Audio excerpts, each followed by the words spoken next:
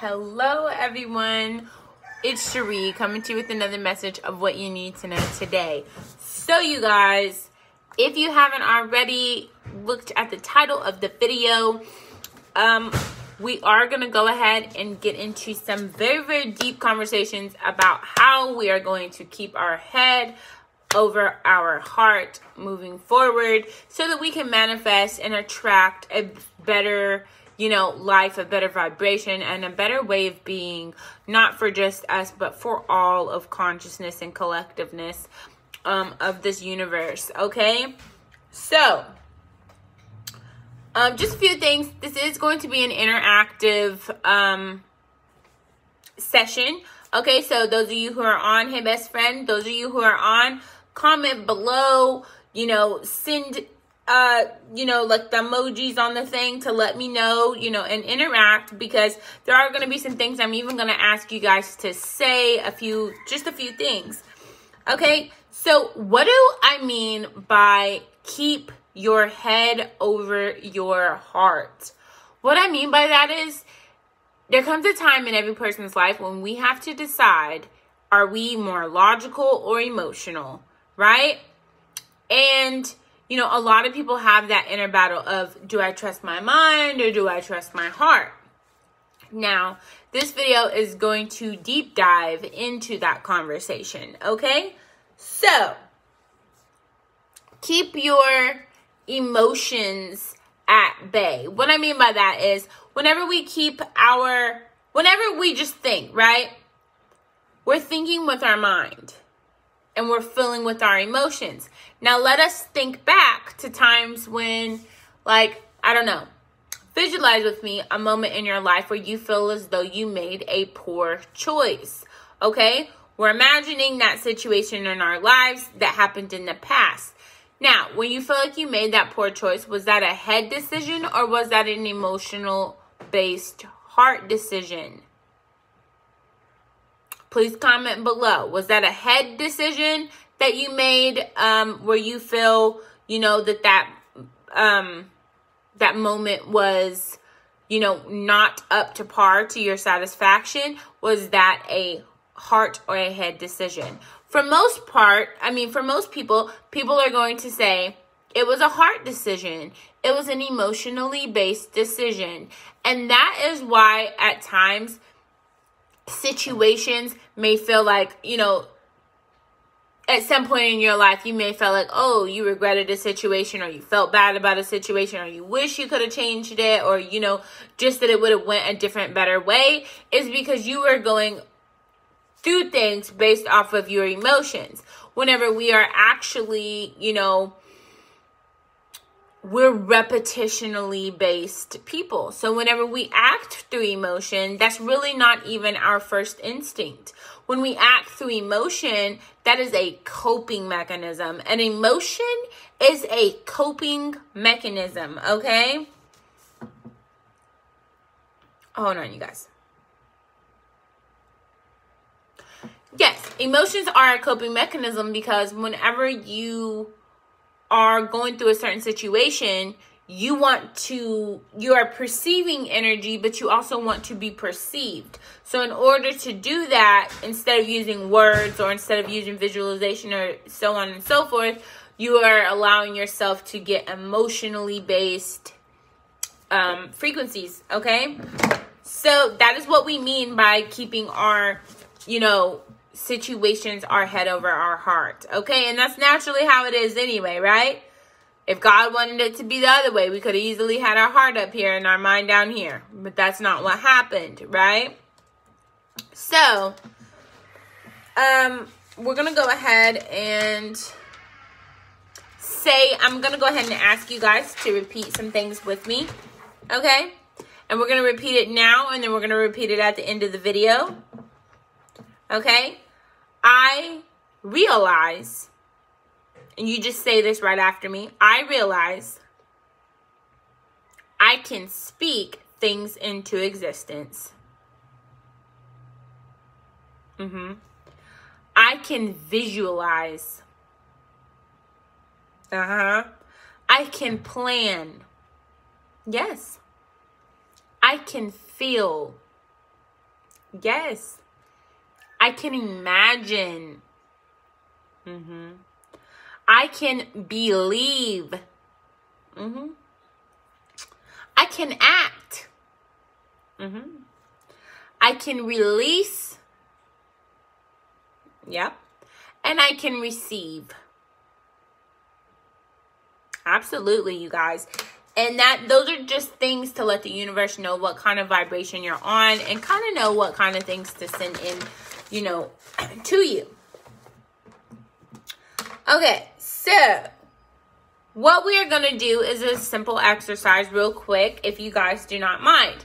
So imagine right now, I'm going to I'm going to hold up a word, okay? Give me just a second. I'm going to hold up this word and what I want you to do is I want you to say this word without your mouth. I want you to say this word in your mind.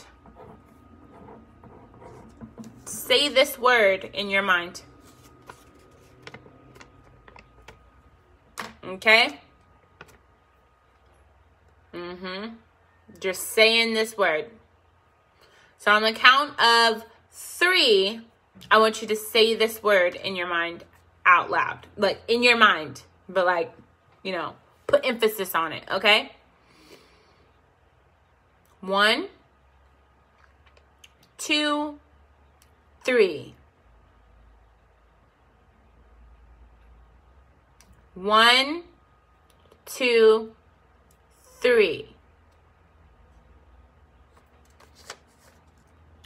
Now, we are going to focus on what just happened, okay? To learn a different version of ourselves, okay? So, whenever you did that, did you notice that not only did you say it, right? You could hear it in your mind, right? You can hear the fact that you said this word. You said joy or toy, whichever way you read it. Okay? You said this in your mind. Uh huh. And, and you heard it in your mind. Mm hmm. And so that's deep, right? So if you're saying things in your mind and you're hearing things in your mind, is that your conscious? What voice did you hear? Did you hear your voice? You want to try it again? Let's try it again. One, two, three. Uh huh. Okay. And some of you may even want to close your eyes and try to say the word. Okay. So let's do that again. One, two, three. Uh-huh. Yes. Okay. So what in what voice did you say that word? You can comment below or, you know, mentally. I would prefer you to comment below. Whenever you're watching this, whether you're watching this on the 9th, the 10th, the so on and so forth, years and dimensions and time spaces, who knows? But the point is, yes. Okay. So we are doing figuring out our mentality. Okay. So, whenever, and I'm just going to be going back and forth between these questions, does your inner conversations, oh, no, no, no. Okay. Sorry, you guys. so, when you say joy in your mind, you and I are powerful beyond mention at that time. You are essentially moving frequencies through the mind. Mm-hmm. You are hearing and speaking from within. Okay? What does that voice sound like? Probably sounds like your voice, okay? Is that the same voice as your conscious? I'm going to leave that open to your interpretation, okay? Is that the same voice as your conscious or is that another voice that comes in? Some people have no voice at all in their head. Some people have some. So it's just, it's different, okay? Is that the same voice as your consciousness? So whenever you think of like collective energy of like how everybody's feeling, do you hear things or see things or feel things? Turn that off. Do you see things or hear things or feel things based off of those things? Okay? And is your higher self is that voice, right? Your conscious, your higher self, is that God? Is that intuition? What is that version of yourself speaking within your head? What is that version? Okay? And we're going to come back to that. We're going to come back to that in a moment. Okay? So, a few things that we can do is to meditate on phrases phrases okay visions and actions okay? So the phrases we did right? We did the i can release so on and so forth okay? We did the visions right? Closing our eyes whenever doing that. Um we didn't imagine the word um but we can do that now. So you try to close your eyes and imagine joy. Whether you're imagining that joy in your mind, you know, maybe, maybe you're feeling the joy, maybe you're seeing an emotional experience, or maybe you're just seeing the word. Um, either or, that is a good way to meditate on phrases and visions. Now, actions. How do you have joy? An emotion can also be an action, okay? So, because you are choosing to emotion, right? You're choosing to be emotional, okay? So that you can feel this emotion, so you can feel joy. What does joy feel like? Does it feel high vibrational? Does it feel tingly? Does it feel weird? Does it feel silent? You know, what does joy feel like to you? Does it feel warm? What does it feel? Okay? So then another thing that you can do to help your, you know, life to move forward in a better, more powerful way is to set the intentions and vibes. Okay? What do we mean by setting the intentions and vibes? That means that going into a situation, you make a conscientious decision, an aware and alert decision to focus on the goal focus on positivity and focus on getting to your goals. Okay. So you also have to commit to that vision. So if you have a vision to create joy, right? If you have a vision to create a certain type of a frequency, an energy, vibration, okay? Then you're going to have to commit to that. You're going to have to think more positive thoughts. Every time you think a negative thought, think a positive thought. Every, you know, and just different things like that. You're going to want to wake up around the same time of day, typically going to sleep around the same time of day, but mainly waking up at the same time of day daily will help you to get yourself into a new pattern, a new routine that's better for you. Another thing that you're going to want to do is free up space. Minimalization is key, okay?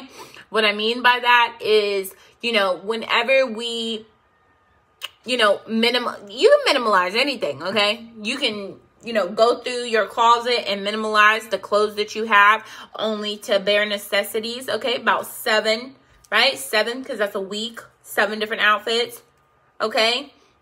I'm just saying, you know, that's minimalizing, okay? Only food that you'll eat for the day or for the week or for the month or for the, you know, so on and so forth, minimalizing. Um you can minimize energy, not choosing to do things that take too much energy. There's so many different ways to minimize, okay? But that helps you to free up space to bring in things energetically. Okay? So then we have making a schedule, okay? Schedules are nice. They are important. They're a great thing to help us to move forward. Writing things out is a form of manifestation on its own, okay? Calendars and planners, they're cousins. All right? Yes. Um, also, find complementary people, places, and energy. So if you know that your goal is to create joy, then you have to find people who are in the vibration or around the vibration or can help bring the vibration of that vision, of that energy. Okay? Then you want to give equally to what you take. Now, I understand sometimes you have to take things that you need so you can give things that you don't need, which is minimalization, okay? So, or you can give time, or you can give energy, or you can give support, or you can give love. There's so many different things that you can give um, back for all the things that you have received, okay? So, you know, let's say somebody gave you $5. Well, what are you going to give them? You can't give them $5 because you needed that. So, what you can give them is, you know, some really nice advice, some support, a, a listening ear, a shoulder to lean on, you know, things like that. Those are equal and opposite exchanges, okay? Also, some you know every every every every successful person in this world makes time for themselves. Scientifically you need at least two hours to yourself daily of personal reflection and healing time time to talk to you to meditate with you to find your vibration to raise your vibration to heal your vibration to just be in your vibration so that you know your vibration so that others cannot change your vibration okay also, choose people with energy that you can balance with or raise with. Why? Because the more energy, the more power. Okay, and we did a visualization on that earlier. Um, and I'm gonna bring this up. How interesting. Okay, so this is this is the universe. I mean, this is the earth, and then this is, you know, the people who are trying to raise the earth, right? So here's you with your purpose and you're coming through aligning with other people and their purpose, then eventually it's going to touch more and more and more and more and more people to where it touches the whole earth of people and vibrations being raised and healed and moving forward in a better frequency. Okay? So that is kind of, you know, understanding the visualization process of what we're talking about and how to get there. Okay? Choose places with peace and or upbeat energy, okay? So like a library, it's a place with peace, but it can have upbeat energy, okay? Allow yourself to trial and error. Okay, yes, allow yourself to make mistakes and allow yourself to heal. Allow yourself to feel, okay? But mainly, you have to fail to win. And you may fail 30 times before you win, but you will win, okay? Listen, take notes, be alert, focus, speak your truths, okay? Then we got a few questions that you guys can answer in your head or on your paper or however you're doing this. How would you feel at your goal moment? So let's let's say what your goal is, right? For me at this moment my goal is to create this joy, okay? So, how would you feel at the moment of creating joy for someone or creating joy with people? I would feel joyful. You know, I would feel joyful. I would be the change that I wanted to see. So, whether I was acting, whether I was feeling, whether I was, you know, planning, whatever it was, it has joy all around it. So, what how would you look, you know, trying to bring joy to people? You don't have to look a certain way to bring joy to people. You don't. You don't have to look a certain way to have joy. Okay? But how would it look to you in your future? So let's say, let's all think two years in the future. What is that same joy going to look like? Yeah, only accomplishing more and reaching more people. What is that joy going to look like? It's going to look the same for me. I don't know. For some of y'all, it might look different. You might want to be in a totally different energy, and that's fine. I prefer to be in my energy in different experiences, and that's fine. How would you be working at that time? Would you be, you know, working for people, working with people? you know, how would you be, you know, would you be working with the universe? Would you be working with yourself? How would you be working at that time? Then how would you be giving? Okay? We know how you would be receiving. You would be receiving abundantly for giving abundantly. Okay? How would you be giving? by showing joy, people can feel your energy. So people can feel joy. So people can naturally be brought up by your joy without taking from your joy. Okay? And what are some things that you would be doing as a joyful person? What's some things that you might would be doing? You might be laughing. You might would be, you know, listening, you know, with a smile. You might be smiling. You might be smizing. You might be listening to music, driving, painting, drawing, you know, changing, working out, walking. You know, you might be doing shopping. You could be doing anything. Okay, sitting on the toilet. I don't know what whatever you know things suit you that you will be doing. Okay, so you definitely want to think about those things as well. Okay, so then we think about our inner dialogue, right? Does your conversations within your mind, okay, match your goals? Does your internal conversation talk about your goals? Does it does it have a frequency of your goal? Because if it doesn't, you need to drop it. If it does not align with it, drop it. If it is an emotionally based situation, try to drop that. You know, have some emotions, right? But if it's all, if you're all in your emotions, you need to drop that energy. You need to be logical, think with your brain what is the best things to do to get you to your goal. That is what you need to do. Does your attitude match your goal? Well, if your goal is to have joy, then your attitude has to be joyful. Okay? Does your actions match your goal?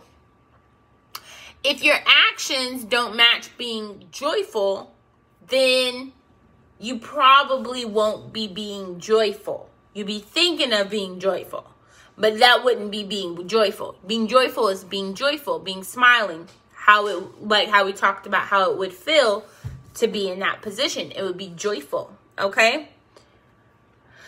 Understanding this is a key point, okay? Attitude comes from your thoughts. So if somebody's over here happy, joyful, that's because their thoughts are aligned with that attitude. If somebody's acting stink, bougie, funky, da da da da da, that's because that's their attitude, that's their energy, that's their vibration, okay? That's their thoughts. Their thoughts might cause them to be in that reaction. It's a subconscious reaction that we can see visually, okay? So, what you want to do is order your thoughts, arrange your thoughts for breakthroughs, right? So, let's say you were having a negative moment in your mind and you was like, oh my gosh, somebody said something about dying. And you're like, what? Like, then in your mind, you know, you, you think of that going through your mind and then you're like, nope, I'm having a breakthrough moment. Instead of thinking about death, I'm going to think of rebirth.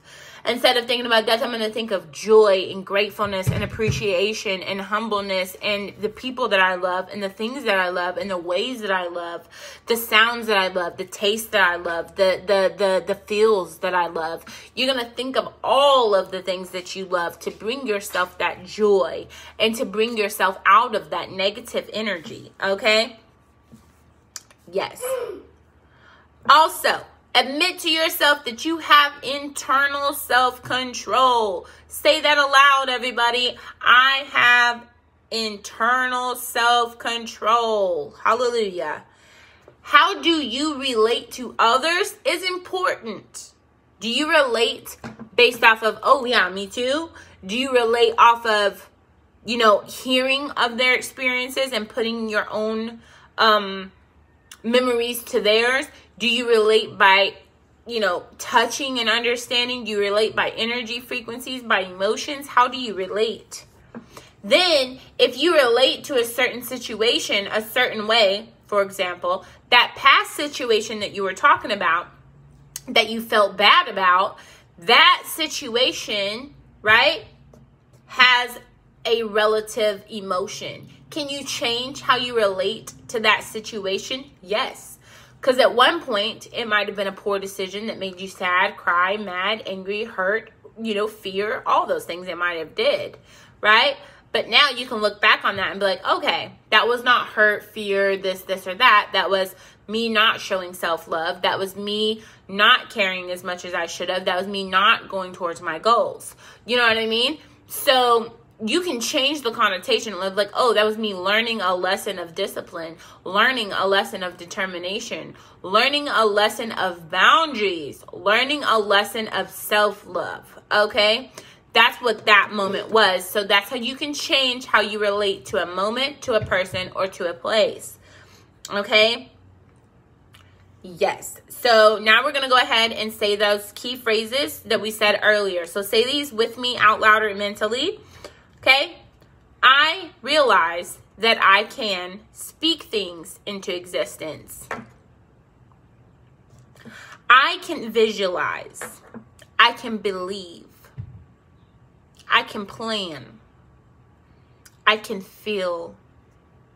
I can imagine. I can act.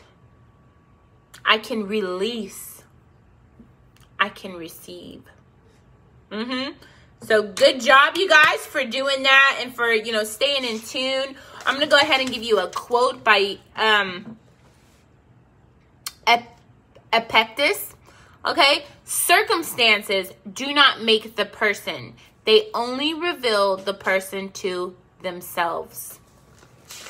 That is by Epictetus, okay? So I hope that this session has brought you the breakthrough or will bring you the breakthrough um, that you have been looking for to help you to move forward, to know how to understand, vibrate, and, you know, frequent the energies that you're trying to. I wish you nothing but love, light, and positivity.